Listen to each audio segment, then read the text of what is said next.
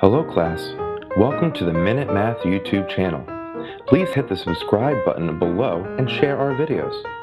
You can also find great math content and links to all of our videos at www.minutemathtutor.com. Alright now, enjoy the lesson. Hi, I'm Sean Gannon, and this is Minute Math, and today we're learning about one-step equations with integers. Solve each equation. If I was given this equation, v minus 10 equals negative 3.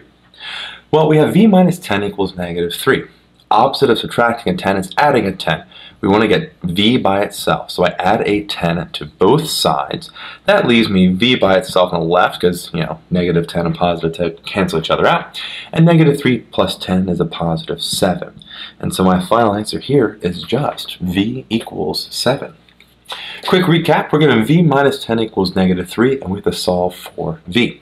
I added a 10 to both sides, that got me v by itself, and negative 3 plus 10 became 7, so my final answer here is 7. Hi, I'm Sean Gannon, the creator of Minute Math, and if you like this video, please hit the like button that's right there.